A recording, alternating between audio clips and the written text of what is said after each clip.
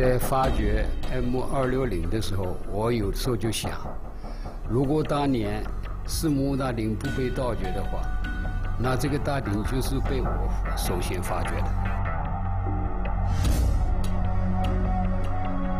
它有怎样的身世？又经过多少颠沛流离的过程，才最终到了国家博物馆的呢？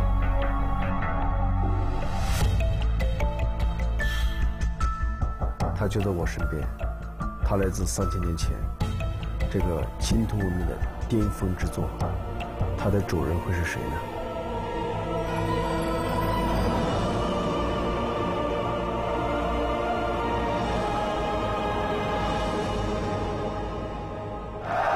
？In October 1946, at the end of the war against Japanese aggression, Chiang Kai-shek received an important gift from Henan province for his 60th birthday.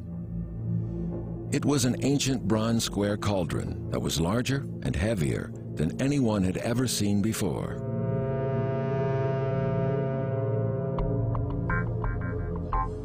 Most bronze pieces weigh only 20 kilograms at the very most, but this one weighs over 800 kilograms.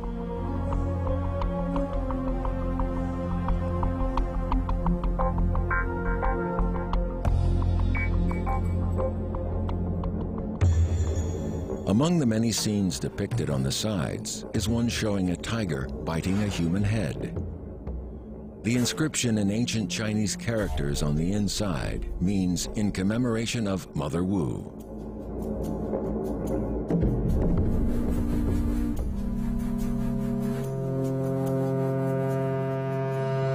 The external evidence indicates that this was a sacred vessel of the royal family of the Shang dynasty over 3,000 years ago.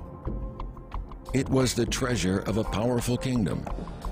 It has since been known as the Mother Wu Cauldron.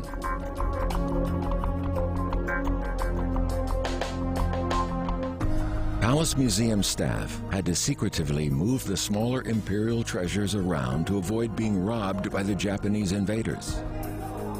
But somehow, this very obvious, very heavy bronze cauldron survived the chaos of war.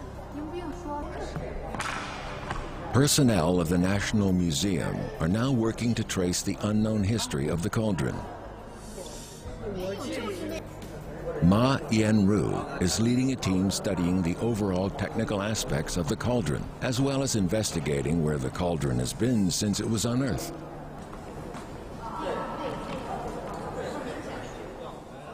大鼎出现在南京，呃，引起了很大的轰动。很快，一九四六年十月十七日的《申报》就对他的这个身世呢做了一个详细的报道。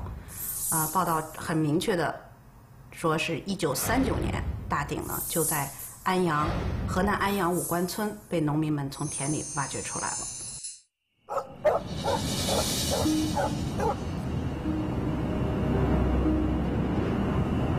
In March 1939, Wu Shizheng discovered the cauldron buried in a farm field in Wu Guan village, Anyang, Henan province.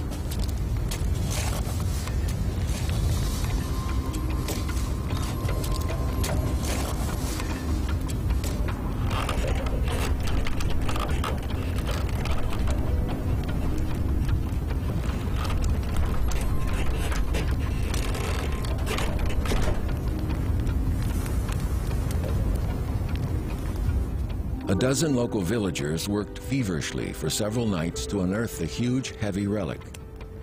They discovered that it was missing an ear, but a search of the area failed to find it. Anyang was then occupied by the Japanese. An antique dealer, fearing it would be confiscated by the Japanese, offered a very high price for the relic on the condition that it be cut into several pieces.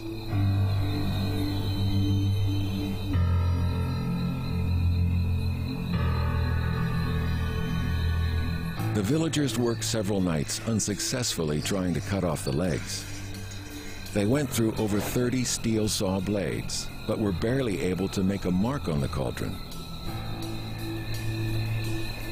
In the end, they only managed to knock off an ear of the cauldron.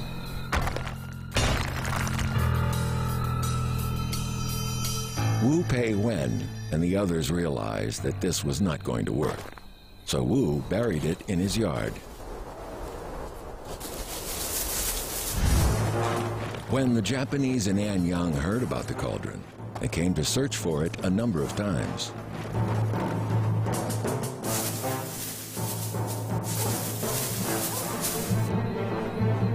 Wu Pei Wen reburied it several times to keep the Japanese from finding it before he finally had to escape from his hometown.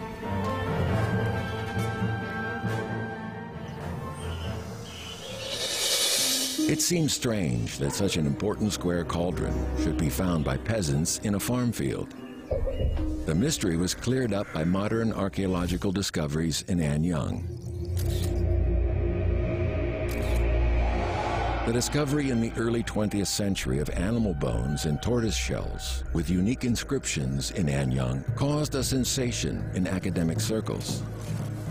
A National Research Institute team began carrying out archaeological digs in Anyang in 1928, looking for examples of the oldest known form of the Chinese written language. Surprisingly, the Chinese archaeologists unearthed many ancient bronze and pottery pieces, in addition to the inscribed bones and tortoise shells. Best of all, they also discovered the ruins of palaces and royal tombs as well, which showed that Anyang was the capital of the late Shang dynasty. This confirmed the written records mentioning the existence of the mysterious Shang dynasty and revealed to the world its splendid civilization. World War II interrupted the archaeological work. The Japanese knew the value of the relics and started searching for them as soon as they occupied Anyang. The locals also knew their value, and many began raiding the tombs to get rich or just make ends meet.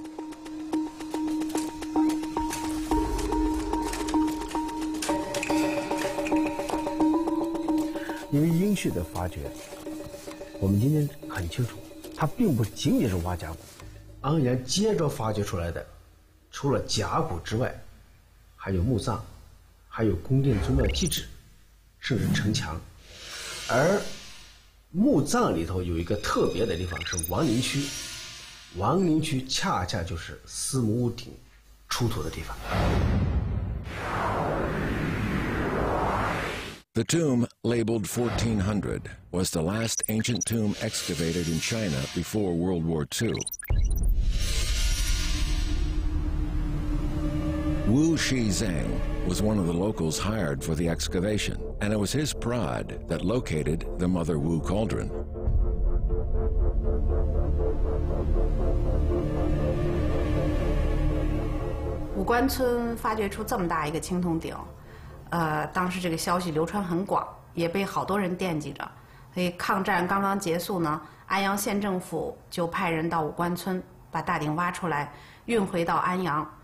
放在古物保存所，当时是万民空巷都去看这个大鼎。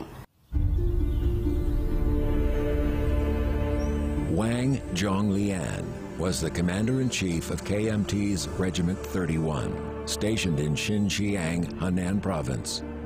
When he heard about the bronze cauldron, he ordered it to be shipped to Nanjing as a gift for Generalissimo Chiang Kai shek for his 60th birthday. He immediately sent it to the Central Museum. In summer 1948, the Central Museum and the Palace Museum organized an exhibition in Nanjing, which included the Mother Wu Cauldron.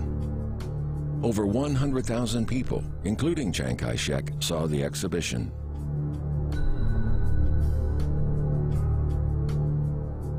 He never imagined that the political situation would become so dire. Taking with him many precious cultural relics, he fled to Taiwan. Fortunately, the Mother Wu cauldron was not among them. 我那儿说，之所以司墓鼎没运走，是因为它太大，飞机的这个舱机舱的舱门太窄，塞不进去。这个呢，我不知道出处如何，我确实不知道，我这我也查过，但是找不出来。但是我认为这个说法可能有点牵强。司慕林怎么样没去台湾？就是原因是什么？过程是什么？到现在还是是个谜。 The Mother Wu cauldron remained in the mainland and made its way to the Nanjing Museum. The Mother Wu cauldron was missing an ear when it was unearthed and lost another when the villagers knocked it off trying to please a potential buyer.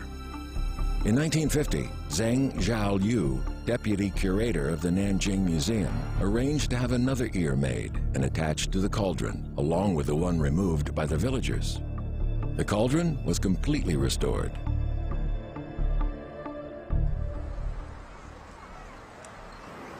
When the government established the National Museum of Chinese History in Beijing in 1959, the cauldron was shipped to the museum, where it became a major attraction.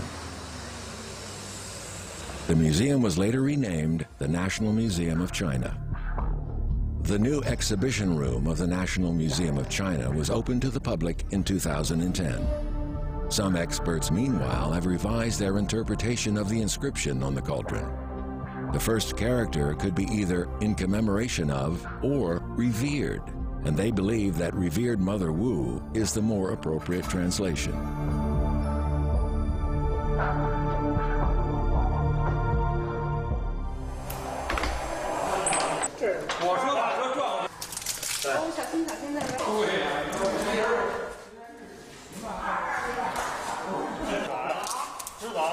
The staff of the Central Museum were the first to attempt to determine its provenance. From examination of the shape, inscriptions, and decoration, they hypothesized that it was a sacred vessel belonging to the royal family in the late Shang dynasty. But this would require more archaeological evidence to confirm. 只是这个大鼎本身 是非正常发掘品，那么要证明它的身份，先证明其身，然后才能对它进行研究。 When a relic is unearthed in an unofficial excavation, a lot of historical information is lost, including exactly where it was found, conditions in the tomb when it was found, and clues to its importance and function. The experts hoped that further archaeological finds would help them learn more about this important national treasure.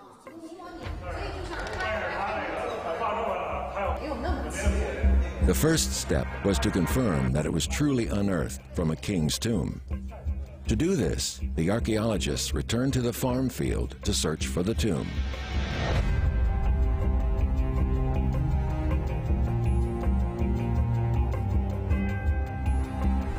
但是那个时候都是小小的，你想想，突然出现个四米屋顶这么大一个庞然大物，是吧？活人多心。 The team first looked up all references to the Mother Wu cauldron from past archaeological digs. They also talked to archaeologists in Anyang.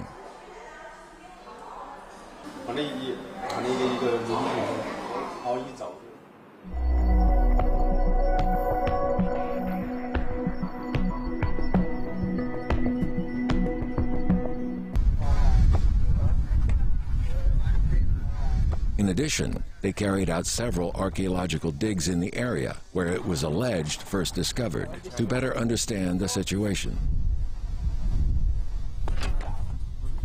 The Chinese Academy of Social Sciences sent an archaeological team to make an extensive survey in Anyang in 1958 and 1959 in search of the king's tombs of the Shang dynasty. Wu Pei Wen, Wu Shi Zhang, and the other Wu Guan village locals who helped unearth the cauldron in 1939 pointed out the approximate location where it was found. The team eventually identifies the exact location and determines that there is a huge tomb underneath.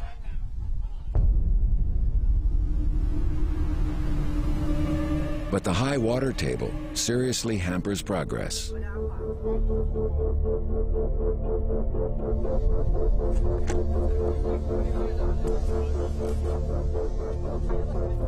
啊走啊走啊！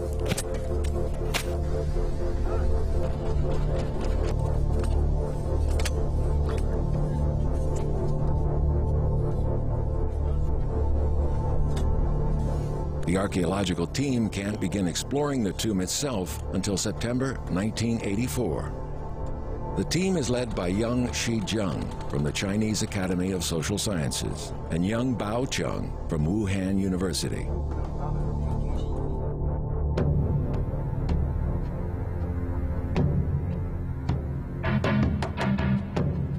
The huge tomb was labeled M260. A long passage leads to a series of chambers.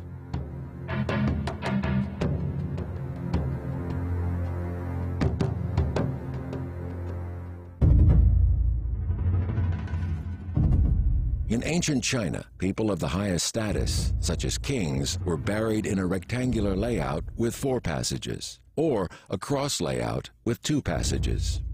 This layout was for people whose status was just below these two. Unfortunately, tomb raiders had already picked it nearly clean. M 二六零发掘了以后，我们就发现历史上的这个大墓被盗掘了六次，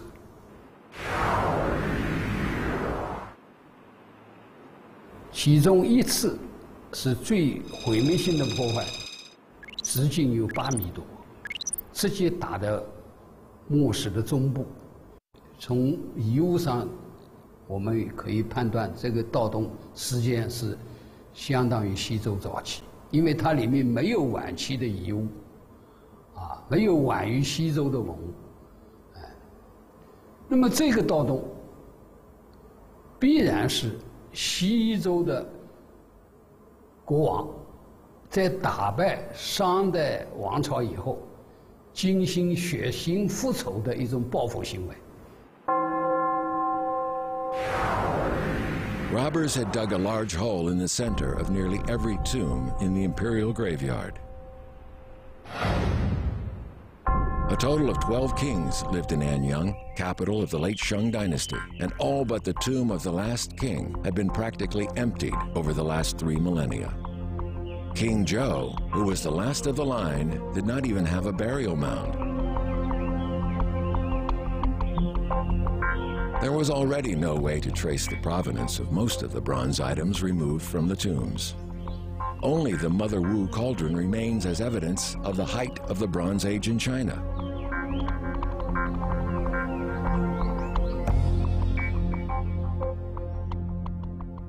Another five holes in M260 was made by contemporary tomb raiders. The biggest of these was made in March 1939 by the residents of Wu Guan village, digging out the Mother Wu cauldron. 我们的目的就是要证明，这个四墓大鼎就是这个墓里出土的，那你必须要证明它是怎么被盗出来的。我们在这个盗坑的底部就发现了当时 盗掘这个四墓大鼎需呃使用的木板、木棍、铁丝、粗的很粗的麻绳，这些盗掘的工具。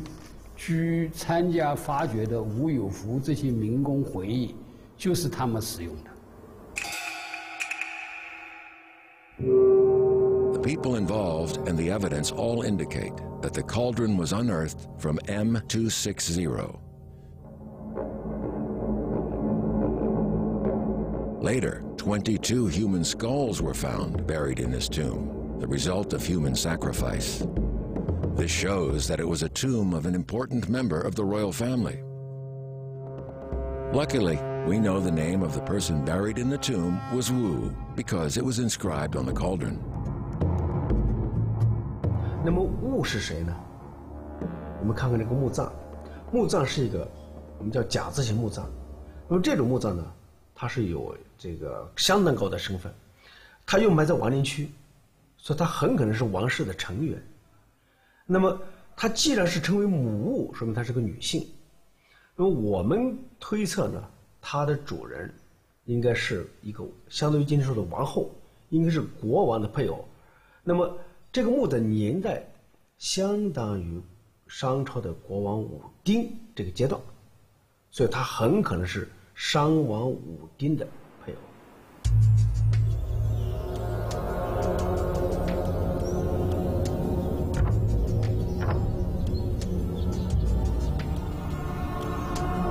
Excavation of the tomb the only one that had never been robbed, provided important evidence that Mother Wu was Wu Ding's wife.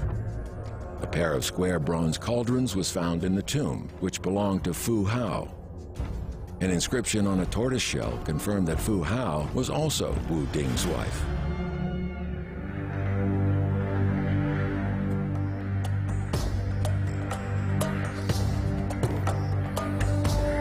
Written records and the archaeological evidence both confirm Fu Hao's identity and when she lived. The relics from Fu Hao's tomb thus served as an important reference point for dating other relics from the late Shang dynasty. 有了司木心大鼎之后呢，一九九零年，当时的中国历史博物馆的研究人员就把这两个方鼎司木星、司母屋做了一个对比性的研究，不但从铭文到它的纹饰，还有它的结构，甚至于它的合金配比都做了一个比对，发现呢这两个大鼎有很多的相似之处，说明它们应该是来自同一个时代。就是根据甲骨文记载，就是商王武丁的妻子第一个法定配偶就叫皮武，所以通过这个发掘，我们可以确定，司母戊大鼎就出土于。M 二六零，M 二六零就是武丁的法定配偶 P 五的墓葬。On the one hand, the cauldron for Pi Wu was twice as big and six times heavier than the one for Fu Hao, also called Xin. Wu's tomb was almost as grand as that of the king, but Xin's tomb was much less so and located some distance from the king's tomb. On the other hand, the tortoiseshell inscriptions often mention Xin, but rarely mention Wu.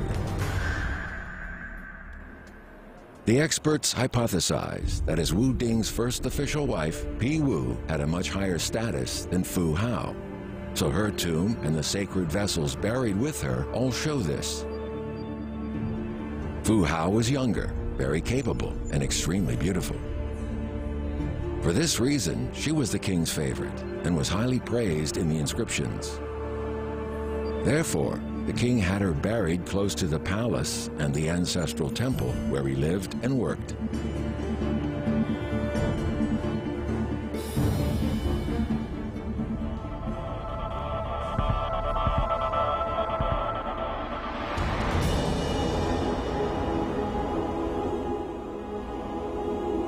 We now know to whom the Mother Wu cauldron was dedicated, but more questions remain. Experts still want to know how this huge square cauldron was made 3,000 years ago.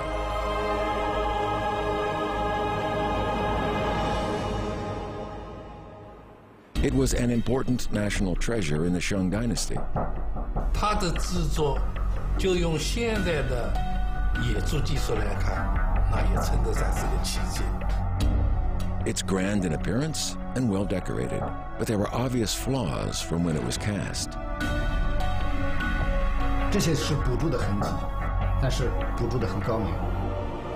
Please join us for part two of The Treasure from the Lost Dynasty.